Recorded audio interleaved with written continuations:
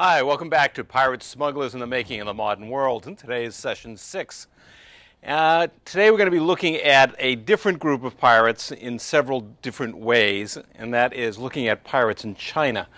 Uh, and I think to understand some of the differences we're going to encounter, it's important to just recap for a moment what we were looking at in the Spanish Main, particularly in session five, uh, when we were talking about the freebooters.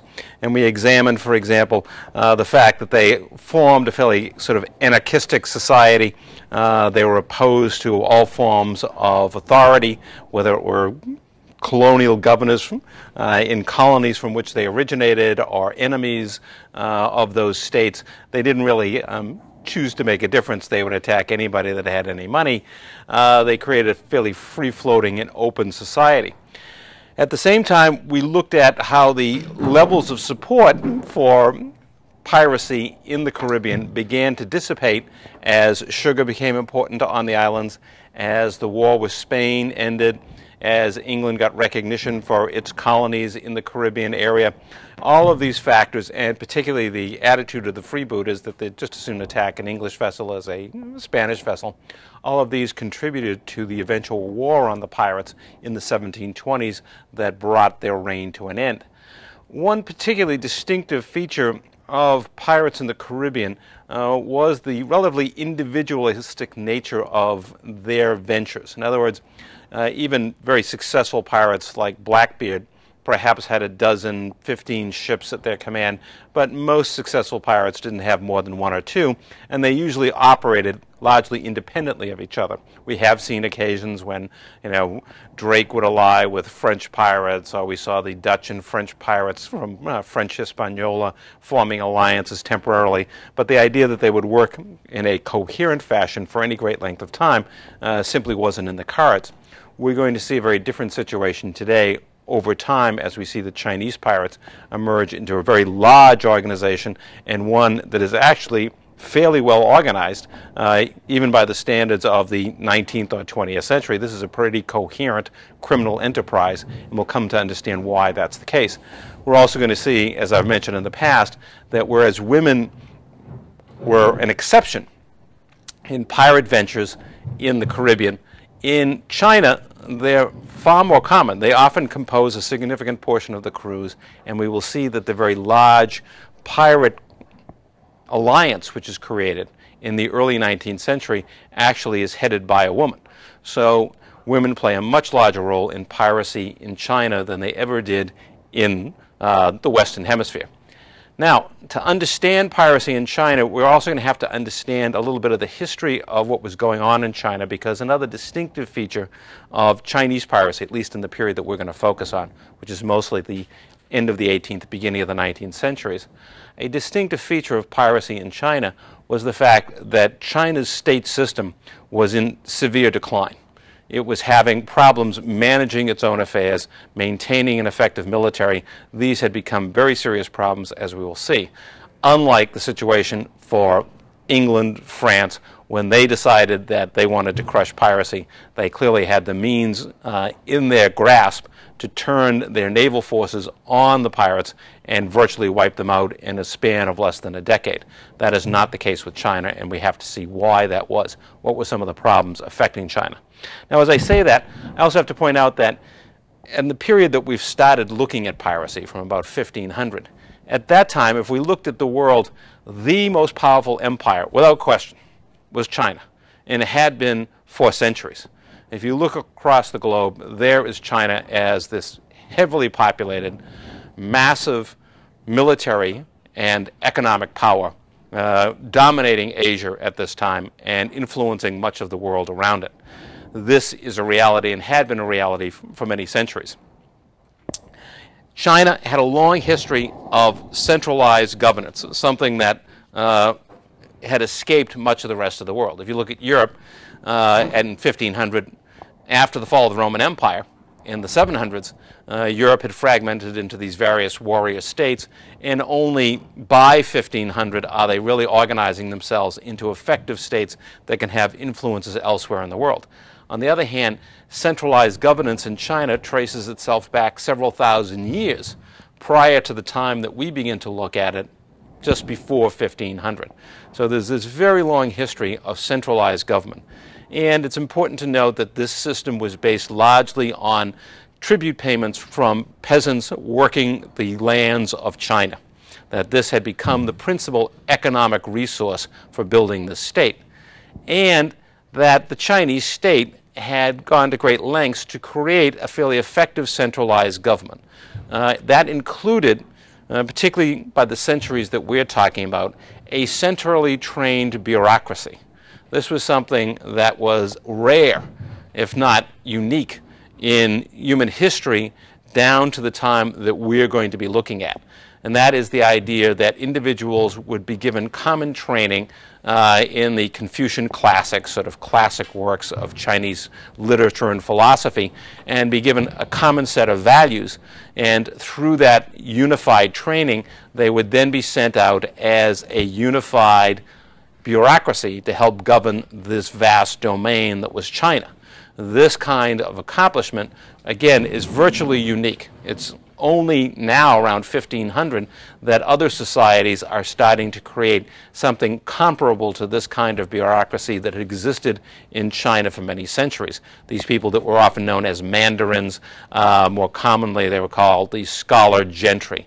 In other words, they were uh, usually the children of fairly well-to-do landowners who had gone through years of training uh, in order to achieve these positions in the administration of China. And in addition to giving China a unified administrative system, it also provided for a certain degree of balance within China between large landowners and peasants because the mandarins or the scholar gentry served as judges and they helped keep a balance between the demands of landowners who wanted more land and more labor from peasants and the desire of peasants to preserve their land and remain relatively free of the control of the landowners. So a certain degree of stability is ensured by the mandarin system in China in the centuries down to the time that we're looking at.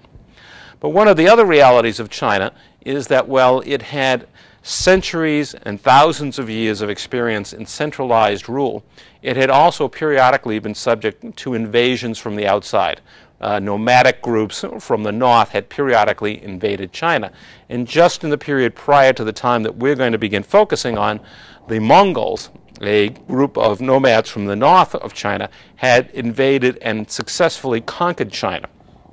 If we look at this uh, map for a moment, which hmm, it's a global map, but we'll see basically what was happening here in the, the north, in the uh, plains areas north of what is central China here, uh, the Mongols had come down and defeated what was the Sung dynasty. You don't have to particularly worry about these details, but the Mongols had occupied uh, China at this time uh, and established, at least for a century, uh, their own centralized rule over China.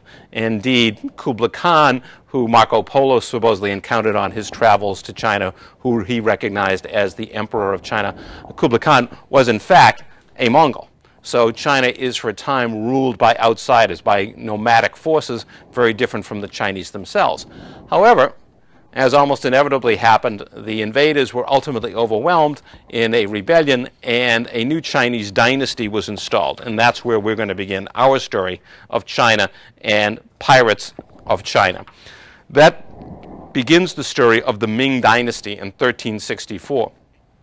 It is the Ming who restore direct Chinese rule in China itself and establish a dynasty that will rule until 1644. Uh, in many ways, the Ming dynasty is often the best known by outsiders who have, if only a passing knowledge of China, because of course you go to a museum, inevitably, if they have a collection of Chinese uh, art, etc., they'll always show Ming vases, etc. Uh, this was a period in which there was a tremendous resurgence of Chinese art, Chinese intellectual activity as a part of the restoration, shall we say, that comes after the Mongol occupation. In part, this restoration also had an external element to it. Most memorably, voyages by a Chinese admiral named Zheng He.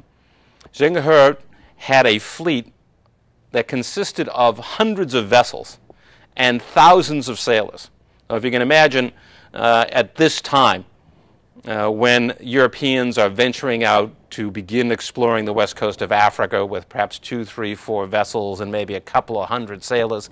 Here, Zheng He is going on this voyage with hundreds of ships and thousands upon thousands of sailors. It gives you some idea of the power and might of the Chinese Empire at this time compared to, let us say, Western competitors.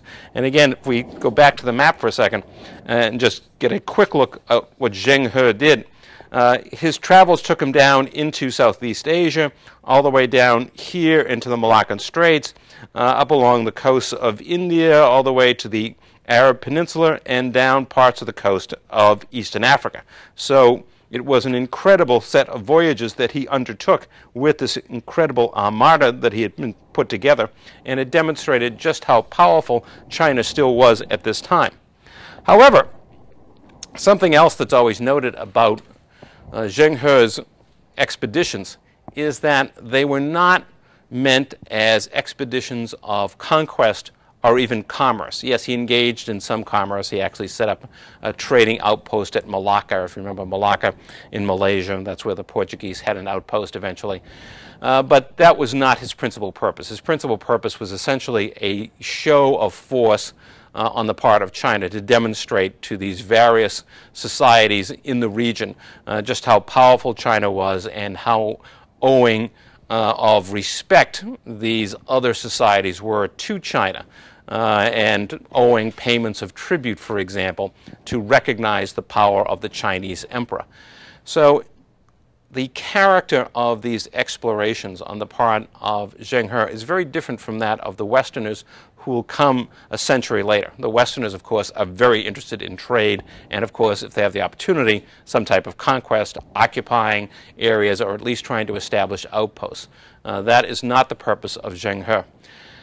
This tells us something about what was happening in China at this time, and it's one of these stories that, because of the monumental change, historians have all kinds of interpretations as to why, under the Ming Dynasty, particularly after the first couple of emperors, uh, China becomes, uh, if you will, almost trapped in time.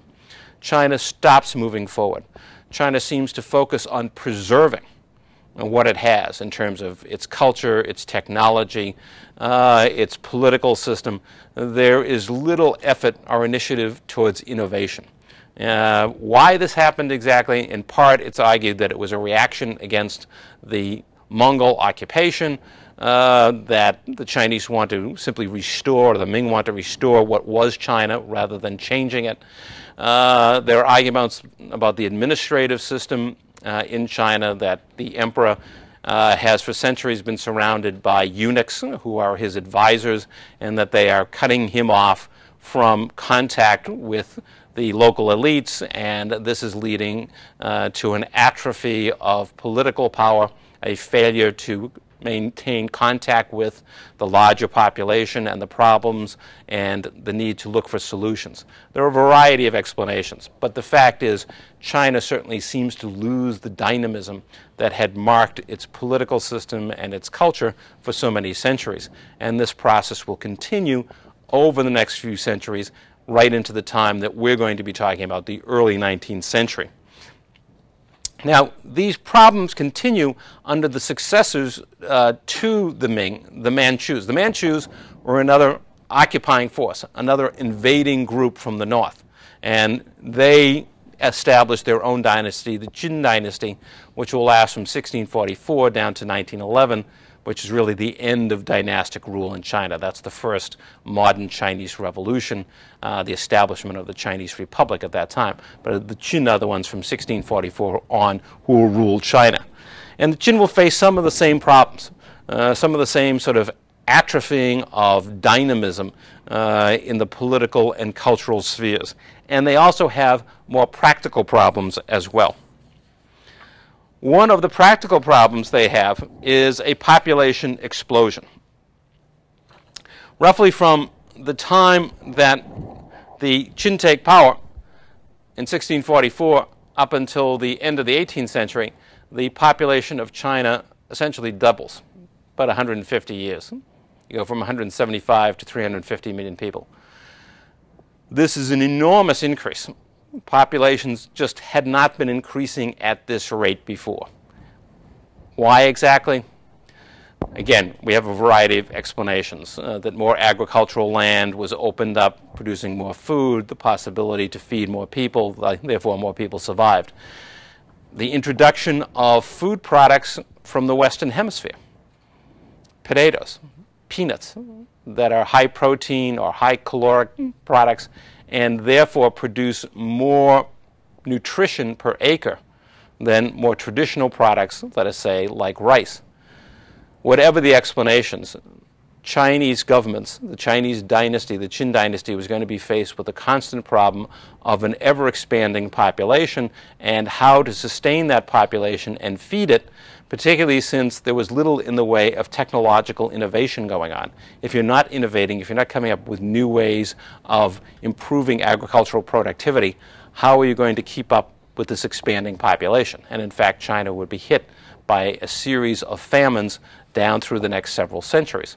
And this population explosion, as we will see, also has a role to play in producing a population that was ideal for recruitment as pirates, and we will see exactly how that happens in a few minutes. Another characteristic of uh, China's history that goes back long before the Qing, uh, the Ming, uh, the Mongols, uh, was the issue of commerce and mercantile activity. Earlier historians have created sort of a simplistic view that commerce was simply a minor part of China's economic activities. Uh, this was never really true. Commerce was always important. You couldn't possibly have an empire of this size and not have a substantial flow of commercial activity. The society simply couldn't have survived. And the fact is, all the way back at least to the 8th century BC, we know that Chinese goods were being traded all the way across Asia into the eastern Mediterranean uh, products from China were flowing into the Roman Empire in ancient times. So we know that trade has been significant. However, it is also true that merchants did not hold the same social status that they did in Western societies. The social ideal in China was the peasant, peasant life. Uh, peasants were seen as the most important group in society. That didn't mean they had any real power, that they weren't dirt poor, but they were seen as the ideal because they were the ones that produced the fundamental food products that made Chinese society possible. And now it's a little bit like, you know, American farmers. We idealize the American farmer and his independence and so forth, and the uh, American farm family, etc. Uh, because they produce food for us and so forth. But of course, at the same time, they get treated in a rather shabby fashion. They're always in debt up to their ears. They're facing foreclosure. The government cuts their subsidy programs. So they're seen as an ideal, but that doesn't mean they're treated well. Well, China is the same way. Peasants are seen as the ideal. The, this is what life should really be about. Merchants, on the other hand, were ranked just below actors hmm, uh, in Chinese society, and actors were ranked just about the same level as prostitutes. And so um, merchants were seen as suspect in their activities. Uh, from a philosophical point of view, the idea was that merchants were essentially middlemen who paid a low price to peasants for their products and then charged a high price to urban dwellers for those same products. So they're seen as being parasitic in many cases uh, in their function, that they are not a they are not productive members of society. And Chinese emperors periodically would impose uh, either forced loans on merchants or even simply confiscate their wealth at times uh, because of that situation. So there was always a, let's say, a troubled relationship between the powers that be in China, the imperial bureaucracy and the emperor, and the merchant community. They certainly needed each other to survive. China couldn't survive without commerce, but on the other hand, merchants uh, were looked upon as somewhat suspect characters, and they certainly did not have the political input that large landowners and the scholar gentry or the, the mandarins had. And as a result, they were still seen, despite the wealth that they might generate, as second class citizens. And this will come to play a role, too, in how China deals with questions of international commerce and why smuggling and even piracy become so prevalent in China. We'll see how all of this evolves in a minute. Another reality of China in terms of commercial activity was that there was a level of official commercial activity carried on by the state uh, that was supposedly tribute. In other words, that societies such as Cambodia and uh, Vietnam and Southeast Asia were supposedly paying tribute to the Chinese emperor. In fact, what was really going on is that it was an official form of commerce. It was called tribute, but it's really an official form of trade. So the Chinese government, although it looks down upon commercial activity, etc., uh, needs this activity often to acquire goods and engages in trade, but it's done under the rubric of tribute payments, that these tribute paying states are paying this tribute in respect to the power of the Chinese emperor. But on another level, uh, there are also commercial activities going on uh, as joint enterprises between the state and private merchants. And even more importantly, there are a large number of private merchants carrying on international trade. So despite the sort of problematic relationship between uh, the imperial system and merchants, the fact is there was a thriving international trade throughout most of China's history. Now, the other reality is that, well, there was a thriving international trade through most of this history. Periodically, the imperial state imposed bans on international trade. For example, the Ming, when they come to power, issue a policy that was known by this famous quote, and that is no inch of board being allowed to enter the sea. In other words, there was to be no international trade. No ships were to leave the Chinese coast to engage in international trade. They could go along and engage in uh, coastal trade among the various towns and cities on China's coast, but they were not to ga- engage in international trade. It is believed uh, that the Ming had done this uh, because they felt after the Mongol occupation that the most important things that they needed to focus on was rebuilding agriculture. There had been a series of famines and uh, agricultural catastrophes at the end of the Mongol occupation. They needed to rebuild agriculture and they needed to emphasize defense. So international trade that would bring foreigners to China's shores, or the expenditure of resources on international trade would be wasteful at this time. China needed to look inward and to focus on its own defense and on its agricultural development. Now, at other times, the imperial system engaged in bans on international trade that were political in nature. They weren't getting along with somebody. For example, the Japanese uh, were frowned upon by the Chinese as not a very developed society, as a society that took most of their culture from China, as a society that didn't have much in the way of resources that they wanted, uh, so that they at times would ban trade with Japan that was seen as unimportant to them. Uh, there were hostilities that broke out periodically with Korea, so there would be a ban on trade against Korea. Uh, on another occasion, uh, after the Ming had taken power, there were forces on the island of Taiwan, which you're probably familiar with, off the coast of China. Uh, there were forces on the island of Taiwan, sort of reminiscent of know, today's world, that were still loyal to the old Mongol dynasty, the old Mongol empire. And therefore, there was a trade ban against trade with Taiwan until such time as those forces were eliminated.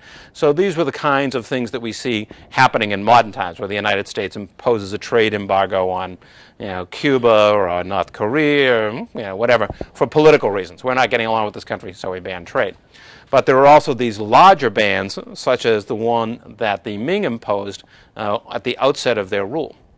Another ban on trade occurred beginning in 1522 uh, because of the activities of Europeans. Europeans had come to the coast, uh, including the Portuguese, and especially the Portuguese, and their interactions with the Chinese had led to considerable unrest. Uh, much of this had to do with uh, Portuguese behavior, uh, in part cultural misunderstandings. For example, the Portuguese sailed into Canton, a major port, uh, and while they were there, they raised their flag and then they fired their cannon off as a salute, you know, as ships do in the West, entering a, friendly harbor and in recognition of uh, the prestige of the power that you're visiting, you fire off your cannon. It's a salute. Uh, well, in China, that was seen as a, an act of war, not as a salute. Uh, and in addition, the uh, Portuguese came with letters addressed to the Chinese emperor that addressed him virtually as an equal. And of course, the Chinese emperor was seen as uh, the supreme ruler of this enormously powerful society, as the most important society on earth from the view of the Chinese. And here were the Portuguese, these dirty little men with beards, trying to address him as if he were just another common citizen of China. Uh, so that didn't sit very well. And in general, uh, the Portuguese uh, did not want to obey Chinese law, uh, just like their behavior in India. And that is, well, when they got to Canton, uh, the Chinese officials showed up and said, well, we'd like to collect, you know, the duties, the taxes that are due on these goods that you're bringing in. And the Portuguese would say, okay, we're not going to do that. They would beat up the officials, throw them into the ocean, and say we're not paying the duties. This didn't sit well with the Chinese either. So, given these types of experiences, the Chinese imposed a ban on all Europeans for a while, um, but in particular on the Portuguese, who had really annoyed them. So we do have a series of periods uh, running from really the mid 1300s down through the next several centuries where international trade is either banned for specific areas, is banned in general for a while by the Ming, or banned with Europeans, etc. So it's a very dicey situation for much of the history of the 1300s, 1400s, 1500s, and on as the imperial system at one time or another issues specific international trade bans or issues blanket international trade bans. As a result of these conditions, where trade was banned almost as often, or maybe more often than it was allowed in terms of international trade, uh, smuggling became a common practice in China. In fact, there was a specific term for it. It was called zaozi, uh, which means it's translated as operating for one's private benefit. Chinese very polite about this kind of thing. You know, you don't say, "Oh, well, it's smuggling." You know, we're breaking the law. You say you're operating for your own private benefit. What it meant was you're engaged in smuggling. And in times when international trade was virtually totally banned, smuggling was rampant. I point out this period, 1436 to 1510, uh, during the Ming Dynasty, when smuggling was at one of its all time highs in terms of the number of people and how much of uh, international trade was moving illegally. And it had to because you had this ban by the Ming who were saying, well, you can't trade at all internationally. The problem with trying to impose these bans, although they sounded good when you know the Ming Dynasty decided, okay, no more trade with foreigners for a while, is that all kinds of powerful families along China's coast uh, are involved in international trade. In China's major cities, hmm, places like Canton and Shanghai, etc., are all on the coast, and there many powerful families have major commitments to international trade. So they can't afford to just sit back and let these bans actually function. They have to smuggle in order to survive. Smuggling took on massive proportions, such that, for example, when Zheng He's super fleet, this fleet of hundreds of vessels, encountered a fleet of smugglers, they actually beat back Zheng He's attack. So here is the leading admiral of China with this massive fleet, and yet the smuggling fleet that he encounters is so large and well armed that they're actually able to drive him back, and they go on functioning. Now, we've talked about the fact that generally with smugglers and pirates, once you know, the state decides to sit on them, well, that's pretty much it. And yet here you have the most powerful fleet assembled in China down to that time, and it really is unable to crush the smugglers at this point to understand uh, just how massive smuggling became under these international bans, uh, we have to look at a couple of examples. One of them uh, was that of Liang Daoming, uh, who ran a band of smugglers of about 5,000. Now, much of this smuggling uh, was taking place off the coast of China on islands. Okay? It was not at this time on the mainland itself. Most of the smugglers operated off the coast for the obvious reason that if you operate on the coast, uh, then the imperial government could bring its land army to bear upon you. But if you operate on the islands off the coast, that's a different situation. Again, if we look, eh, let's see, okay. This map shows us southern China and the South China Sea. Here is Canton of Guangzhou, as known now, up here. Uh, there's Macau, which of course is the Portuguese outpost later on, but Canton is the one we're going to focus on. And it's this area here that we see a massive amount of uh, smuggling going on at this stage. And in part off a series of islands that are too small to see here, but also on Hainan Island, which is this massive island here. This, down through the centuries, became a major smuggler and pirate outpost, again, because it leaves you free to smuggle and carry out pirate activities along the coast, but it also makes it a bit more difficult for the imperial government to attack you since you're operating off the mainland itself. Now, another example. In the 16th century, Zhang Lian's smuggling operation of 200,000. He's got 200,000 people in his smuggler's operation.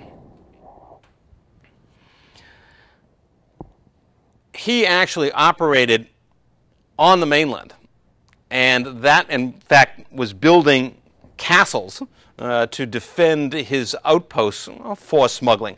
And here we have to say also that when I'm talking about smuggling, the difference between smuggling and piracy here is razor thin, uh, depending on what you're talking about, because most of the smugglers, first of all, are armed. Uh, so they go out assuming that they're going to have to defend themselves against a possible attack uh, by the Chinese Navy. And secondly, uh, if you engage in smuggling, why not engage in piracy along the way, right? You know, you're engaged in one illegal activity, why not do the other? So this is, they are largely defined as smugglers from the major part of their activities, but in fact the Chinese government usually referred to them as pirates, and indeed they were also engaged in piratical activity. Uh, and in this case, again, the Ming dynasty has to send an army of 200,000 against these smugglers in order to suppress the activity. That's how widespread it had become. However, the ability of the Chinese Navy to defeat these smugglers, those who operated offshore, is still minimal. Uh, the best of the Chinese admirals are defeated by Chinese smugglers. So we have a situation where, where the state is making vigorous attempts, at least, uh, to crush the smugglers. They are so numerous, so well armed, it's virtually impossible for the state to carry out this activity and to fully suppress smuggling. So by the 1500s and by the 1600s, smuggling and with it various acts of piracy have become widespread, uh, particularly along the South China coast. It becomes a tradition, shall we say, and one engaged in by a very large part of the population. And here, something to keep in mind for the rest of what we're talking about today, it means that tens of thousands, hundreds of thousands of people along the coast, maybe even millions, are directly tied into the smuggling and piracy networks. It's important for them. They sell supplies to the smugglers and pirates. They buy some of the goods. They trade in the goods that are smuggled and pirated. So you have a very large constituency on the mainland of people who are committed to these activities.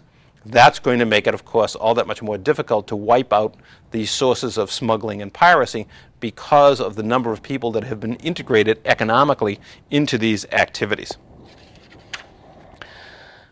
One of the most famed pirates and smugglers of the time was Wang Zhi, who was called the King of the Clean Sea, uh, supposedly because he had swept the sea clean of the Chinese admirals and the Chinese Navy.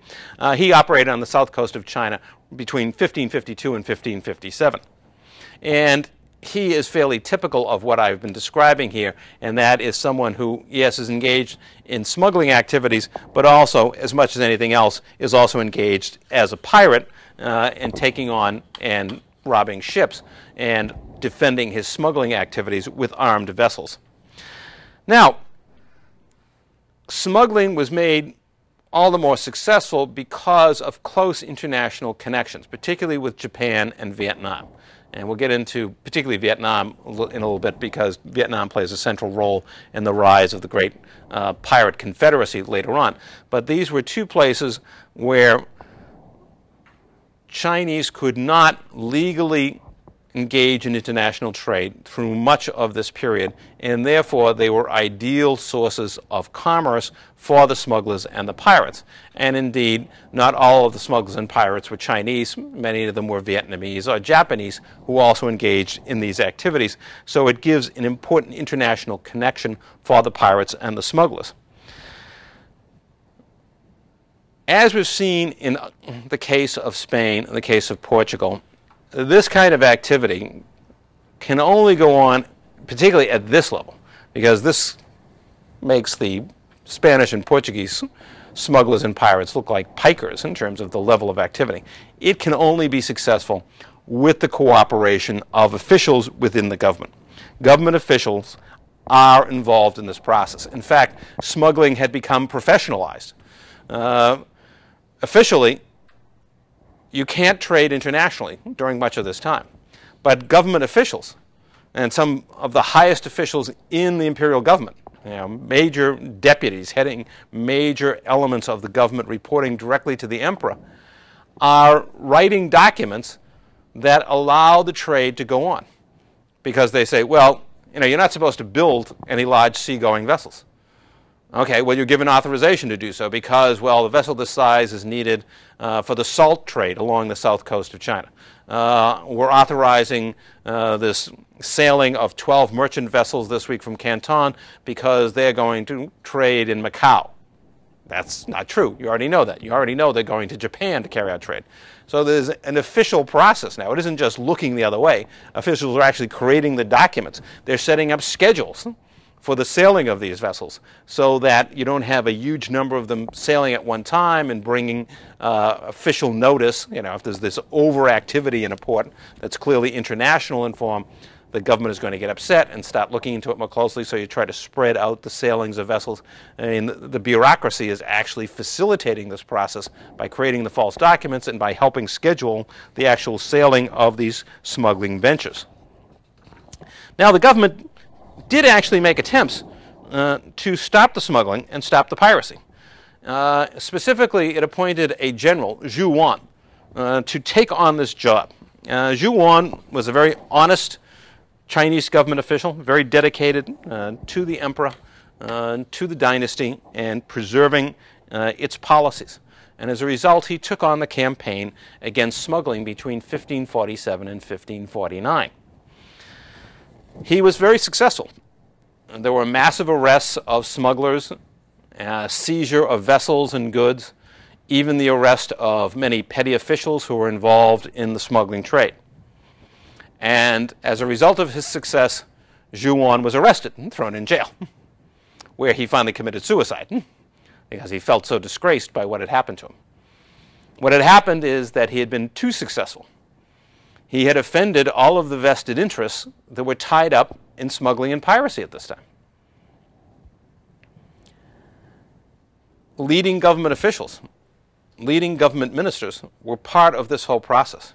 And here is this general going around arresting all of the smugglers, seizing their vessels and their cargo, causing huge losses uh, of money for wealthy families on the coast, and of course endangering the reputation of senior officials, uh, who would of course be caught red-handed if the trail was followed far enough back up the line. These people would be implicated and they could wind up losing their heads. So he is accused of exceeding his authority, etc. Uh, thanks to the influence of some senior officials in the government, he's arrested and unable to accept the disgrace of his own arrest for doing his job, uh, he commits suicide. Uh, his successor met a similar kind of fate. He too was arrested. And in his case, uh, instead of committing suicide, he was executed. so his crime was being too successful in suppressing smuggling the government needs to show that it's trying to prevent smuggling. But when officials are too zealous in pursuing the smugglers, They violate the interests of a wide range of people, not only hundreds of thousands, if not millions of people tied into smuggling on the coast, but also wealthy families and some senior and very powerful officials in the government. As a matter of fact, the person who was the second successor to Zhu Wan also wound up in jail, although they wound up sending him into exile. So, in three successive occasions, the occupier of this position, the anti smuggling position, found themselves arrested for doing their job because the reality is the smugglers were closely tied into, in fact, they were an essential part of the fabric of the central government, and they were not going to let these campaigns go too far. It's a little bit like following drug smugglers. You know, it's one thing to arrest a lot of petty criminals on the streets, but if you start going up high enough and getting into uh, the possibility of threatening government officials, uh, you might find yourself some, some trouble even in this country. Um, this is what happened to these people who were set out to suppress the smuggling trade in China in the 1500s. Now, Wang Zhi is again one of the most successful smugglers in the history of China. Again, he is the king of the clean sea, the one who had fended off the Chinese Navy successfully. After his successful defense of his smuggling fleet, he begins to build a position on the mainland by 1552, where he has a fairly substantial land based force to defend his interests and is using the mainland as his main smuggling base. So, what is the government to do? I mean, its previous efforts, you know, going after the smugglers and arresting them, that leads officials to get arrested and executed. On the other hand, the outright military attacks, whether they're naval or whatever, have been unsuccessful in suppressing smuggling and pirate activity. So instead, what they do is they grant him an amnesty. They say, okay, as long as you stop smuggling from now on, we'll forget all about this. All right, we'll pretend you weren't a smuggler. Uh, you can keep what you got, you can keep your ships and the money that you made out of all of this, but just stop smuggling. In the case of another smuggler, Zheng Zhilong, in 1640, not only was he given an amnesty, he was also made a local governor. obviously he demonstrated a great deal of initiative, ability to command troops, etc. So obviously he had the talents to be a governor. Why not make him a governor? So we have the interesting case of you know the government official who tries to suppress piracy. He winds up in jail. Meanwhile, the smuggler and pirate he gets an amnesty and gets appointed as a governor. The government was facing up to the reality that it was unable to suppress these groups. So what's the solution? You grant them an amnesty and hope you know, they commit themselves to not committing any more acts of piracy, etc. However, this came right at the end of the Ming Dynasty. This is 1640. Remember, the Ming Dynasty is going to be over in 1644, and the Qing take over. Well, as far as Zheng Zhilong was concerned, that was an agreement with the Ming. They're gone, right? So he went back to his old ways. Time to start smuggling again. So when the Qing dynasty came in, they had to make another grant of amnesty to him to get him to stop again. One of the problems with amnesties. Huh? Between 1661 and 1683, the Qing themselves engage in another wholesale ban on international trade. And of course, the result is that this wholesale ban, the same kind of thing that the Ming did, not just the selective bans, but the wholesale ban on international trade, sets off another explosion in smuggling. Each time one of the dynasties decides that they're going to completely ban international trade, they make things worse because now the only way to continue uh, this vital part of the economy of coastal China is to engage in smuggling. By 1717, the Qing had started to ease up, recognizing, as the Ming had done before, that that kind of total ban was simply impossible to enforce. And in fact, restrictions would be eased, the total ban would disappear, there would be selective bans and restrictions, uh, as there almost always were on international trade in this period. Uh, but in the early 18th century, uh, things are easing up and international trade on a legitimate basis is becoming much more viable. Not surprisingly, as a result of that, smuggling is going to drop dramatically. In fact, by 1760, the South China Sea, which had been rife with smuggling activities and piratical activities, is described as the tranquil sea. Things have calmed down. Everything's okay because the total ban is gone. People can carry out trade once again. You still have some pirates, but it's kind of penny ante stuff. And the whole situation has quieted dramatically as compared to what was going on, particularly in the 1500s. However, things turn around once again beginning in 1795, and this is the period where we're going to start looking closely at what happens. You know, this is the focus on Chinese pirates today. Between 1795 and 1810, there's an explosion in piratical activity. South China will come to be dominated by a community of pirates that numbered at any one time perhaps 50,000. And remember when we were talking about the pirates of the Spanish Main, we said you know, over a 10 year period, perhaps there were 5,000 pirates in the early 1700s, but probably no more than 2,000 operating at any one time. In the South China Sea, there were 50,000 pirates operating at one time. So this is a huge pirate community. Now, why? Now, if they're easing up on the bans on trade, and much of what was described as piracy in the past were armed smugglers uh, who smuggled because they felt they had to, because there was this total ban on international trade, and now trade restrictions are easing. Why do we get this explosion? There are a series of explanations for this. One, just as in the Caribbean you go where the money is, so too in South China there was a grand opportunity because there was a vast international trade going on of valuable goods that could readily be accessed. Looking at this map of South China, here we've boiled it down. Okay, yeah, hold on, let me, yeah, that's good. Here you can see Canton. We're up much closer, all right? Here's Canton here. This is the Pearl River, and it's the Pearl River estuaries that lead down into the South China Sea. Canton is becoming one of the major ports of China. It is, in particular, and will be as of 1757, the exclusive port for foreigners to trade in China. Remember, not all restrictions have been gotten rid of. And as of 1757, all foreigners who wanted to trade with China had to come through here. It's a little bit like what we were talking about with Spain, where Spain only allows you know goods coming out of uh, the Western Hemisphere to come from Veracruz, okay, and from Panama. Very similar kind of situation here. Only in this case, trade coming into China has to go through this one port.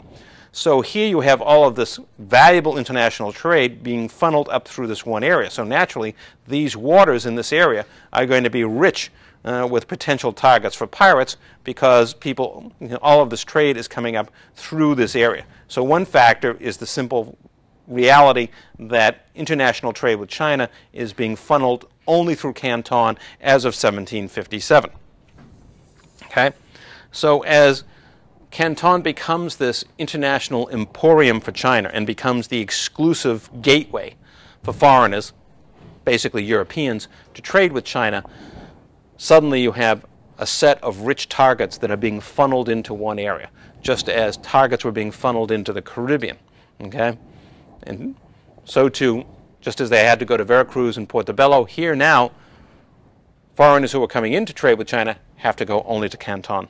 So it provides a rich source of targets. There is also a rich source of people to serve as pirates in this area this part of China has been one of the areas that has endured a particularly explosive growth in population. Remember, this is the time when China's population is doubling. Well, it's more than doubling in the area of South China. Uh, let's go back to the map for just a second. This whole area west of Canton here is rich in river estuaries fertile soil and people had poured in over the centuries to exploit this land. And by this time, by the 18th century, they have reached the limits of their technology in terms of exploiting the land and producing crops.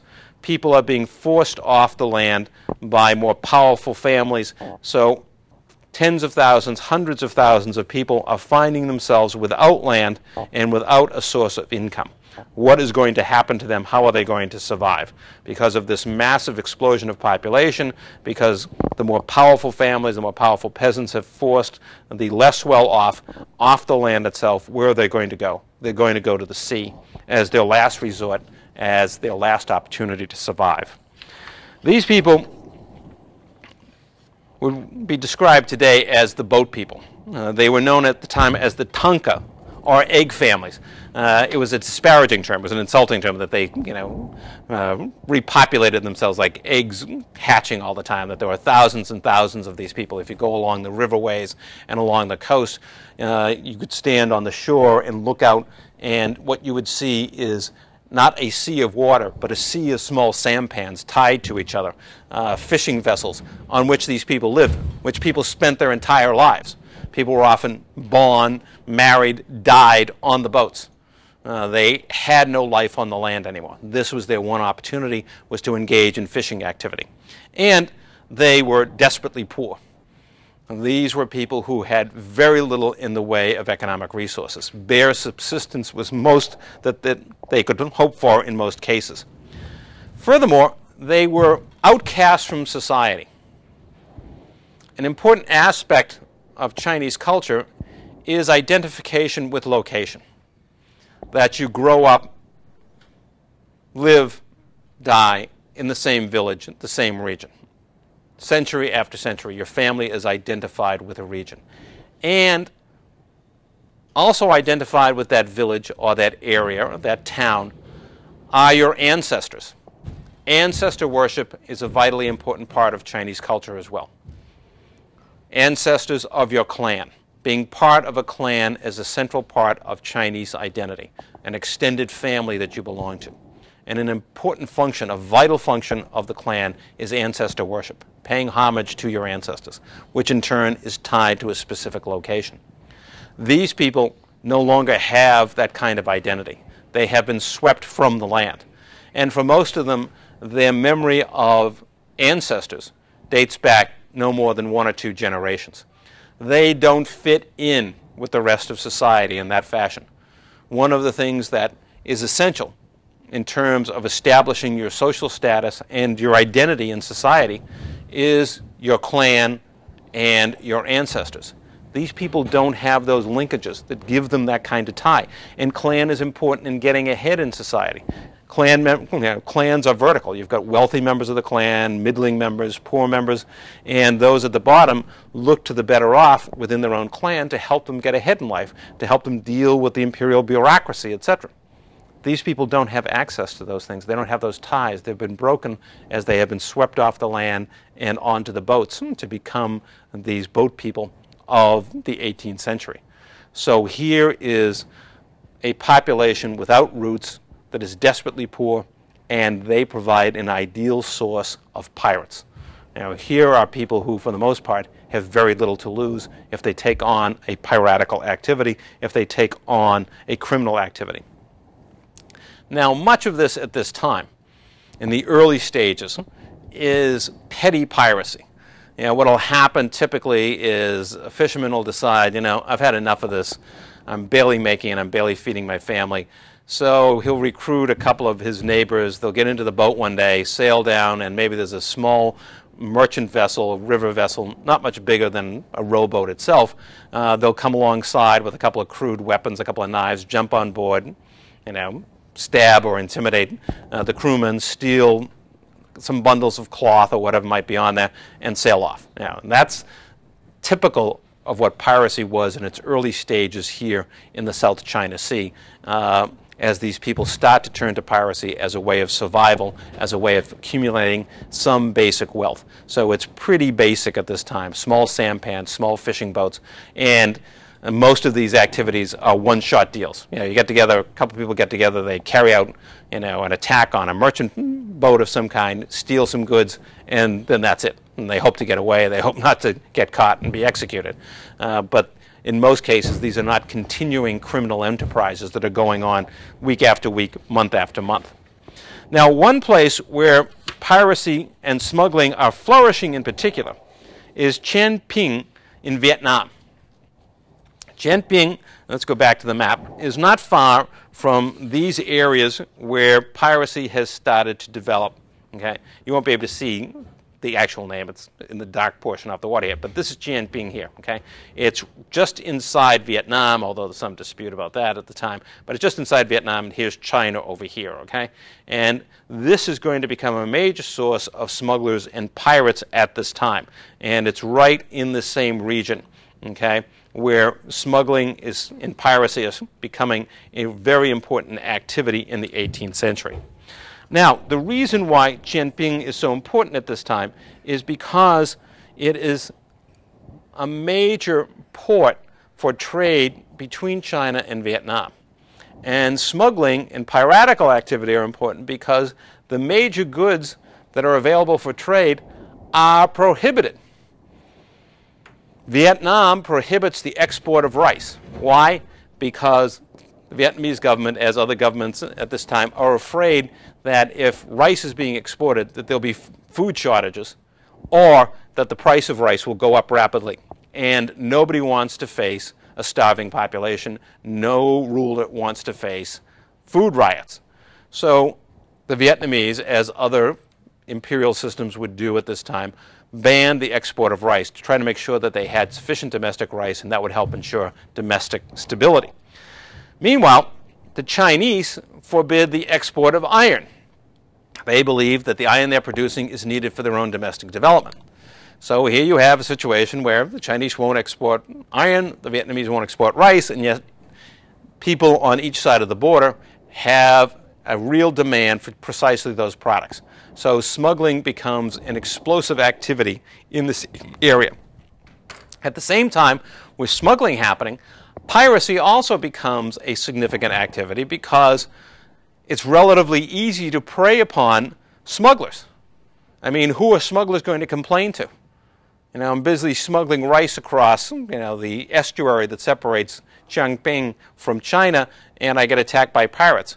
Well, what am I going to do? Go run to the Chinese authorities or the Vietnamese authorities and say, oh, well, they stole my boat. Oh, they stole your boat that you're smuggling all that illegal rice in. I see. So when you have widespread smuggling, it's an ideal opportunity for pirates to operate because they know that the person who is the victim of the pirate attack really doesn't have a legal authority that he can turn to to try to get retribution. As a result, piracy virtually becomes the mainstay of this Vietnamese city's economic activities in these years. Still, piracy is at a relatively simple level. Uh, they're a little better armed than they were before. Uh, some of these people operate on a regular basis now as pirates, but still, it's mostly small boats uh, attacking other small boats that are engaged in the trade along the riverways here and engaged in this illegal trade.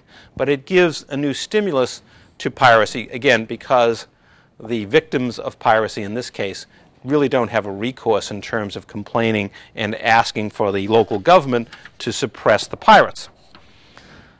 But the critical moment for the growth of piracy in South China, in the South China Sea, comes in Vietnam in the 18th century with political upheaval, with what's called the Tay Son Rebellion. In Vietnam, in the 18th century, a rebellion breaks out against the existing imperial dynasty. It's called the Tay Son Rebellion because that's the name of the village where the leaders of the rebellion were born. Uh, they were the Nguyen brothers, you don't have to remember that. Um, but they were born in the village of Tay Son, and so it took on the name of the Tay Son Rebellion. So you have the imperial system being challenged by these rebels who will eventually, at least for a time, succeed in overthrowing the government the Tay Son rebellion against the Le emperors is successful. However, China treats Vietnam, and Vietnam had been essentially a subordinate state, a tribute state over the centuries. So the Chinese emperor is interested in trying to uh, maintain the Le emperors in power since they are recognized force and they have been, from the Chinese perspective, reasonably reliable, so they do not want to see the Tay Son rebels successful. Despite China's invasion in 1785, however, the Tay Son rebels are successful in getting rid of the Le dynasty, at least in the short term. But their victory is by no means complete. And in fact, over the next 15 years or so, they're going to spend much of their time fighting to hold on to what they have won. And in the process, they are going to need a navy.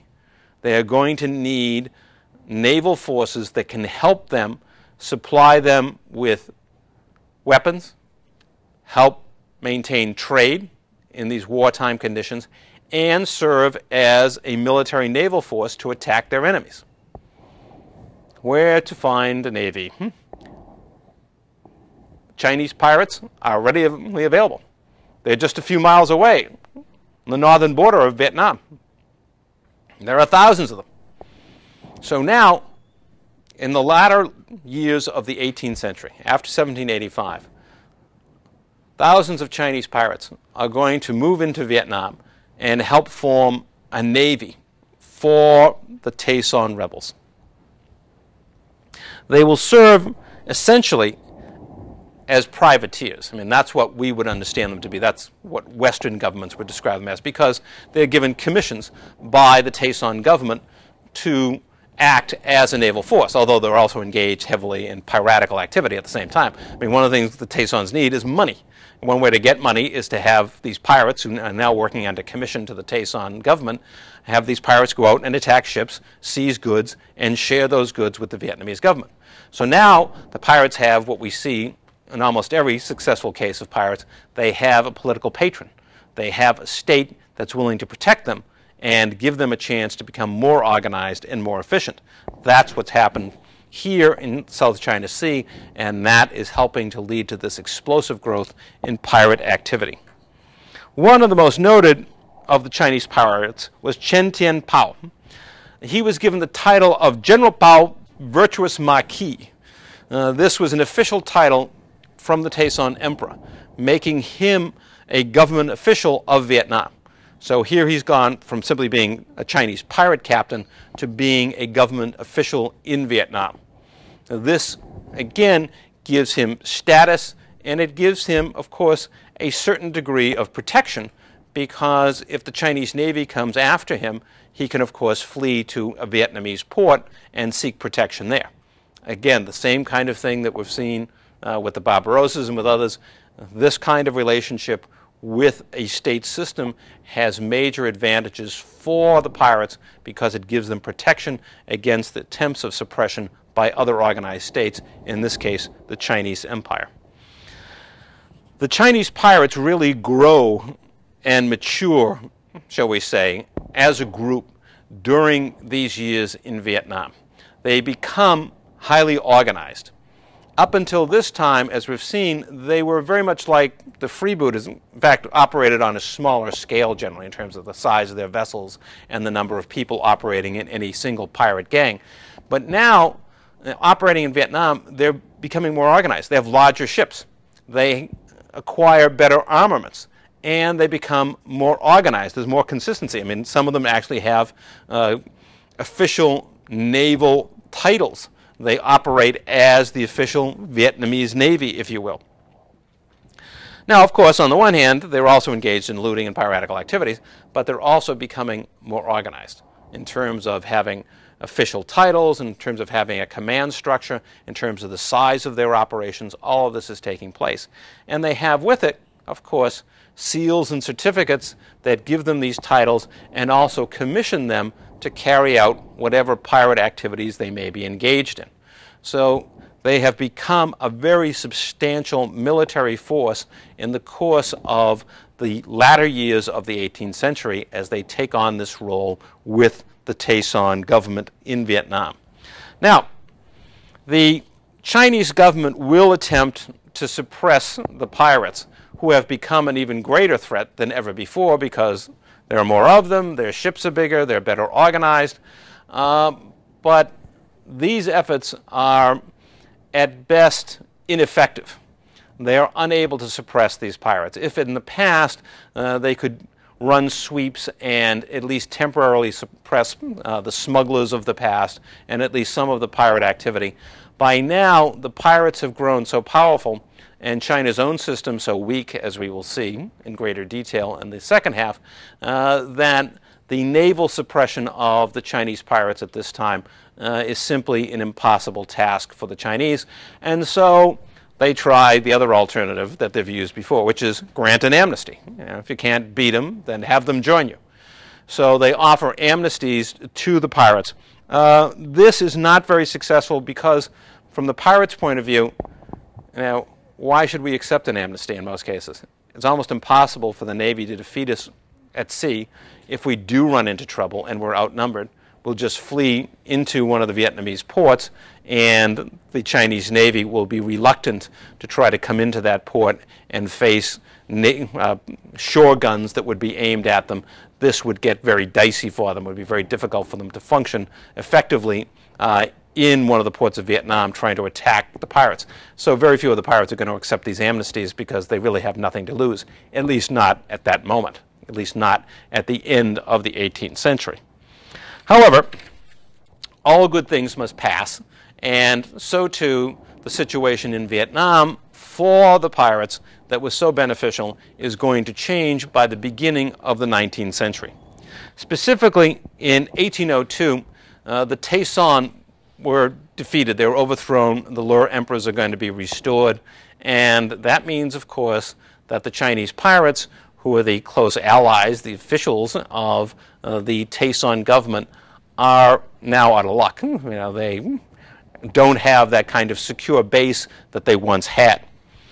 Now, they had benefited, as I said, tremendously from this experience. Over a period of about 15 years, they had become a highly organized criminal force in the sense that they had organized themselves into fleets uh, recognized by different flags. There was the red flag fleet and the black flag fleet uh, with a senior commander and then a chain of command that went down through a series of vessels.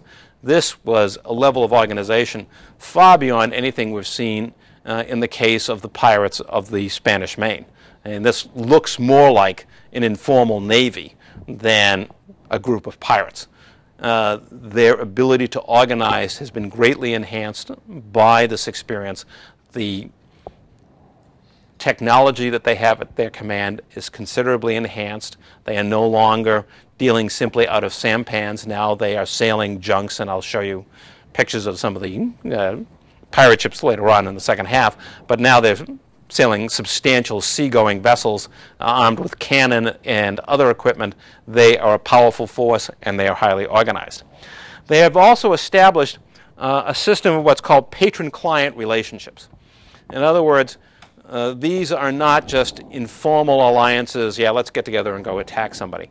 Uh, within these fleets, there are a series of relationships. In other words, someone is brought in, let's say a promising captain is brought into the fleet and given a ship, and he now owes his position to the commander of that particular fleet. So, too, his second in command is someone appointed by the commander of the fleet these people down the chain owe their positions to the commander.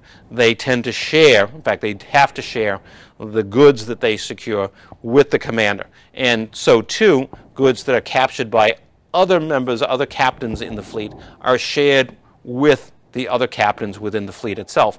So, there is a set of relationships which tie people into one of the fleets where they are sharing in the goods that are captured by other captains, and they owe their position, their appointment, to the head of the fleet. So this isn't just a loose set of alliances, two or three. You know, it's not like Stede Bonnet, you know, and Blackbeard getting together and saying, okay, well, we'll work together for a while.